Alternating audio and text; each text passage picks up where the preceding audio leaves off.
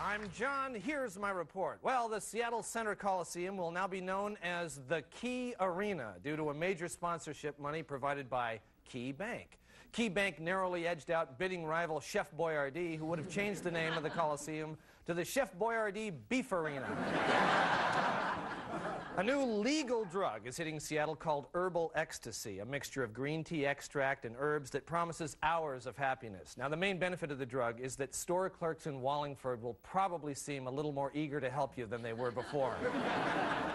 An Olympia measure would revise the wording of marriage license to include the sentence, neither Neither you nor your spouse is the property of each other. This replaces the current wording, don't sell your spouse to motorcycle people.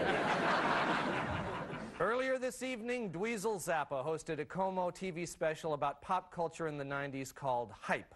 Immediately following that, KOMO's Cindy Reinhart hosted a special retrospective of her career called Hyper.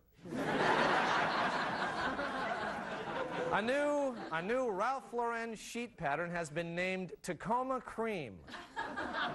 Do we, do we need a punchline for this one here? Move ahead. All right. Thank you, yes.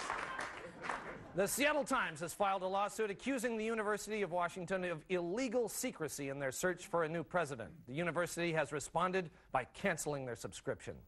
a, rot, a Rottweiler dog in Roy was rescued from a branch 40 feet up in a tree last Tuesday. Coincidentally, firemen also rescued a mailman who was found 60 feet up in the same tree.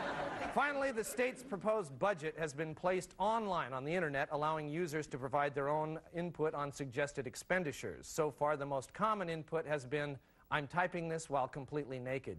This has been the John Report. Thank you. And we'll be right back.